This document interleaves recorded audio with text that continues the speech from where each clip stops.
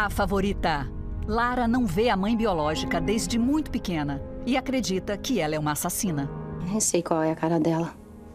Dona Tela rasgou todas as fotos. Mas Flora vai tentar se reaproximar da filha, mesmo sem revelar quem é de verdade. Oi, Sandra. A vovó me falou muito bem de você. Hoje, Você e a vovó se conhecem da onde mesmo? vale a pena ver de novo A Favorita.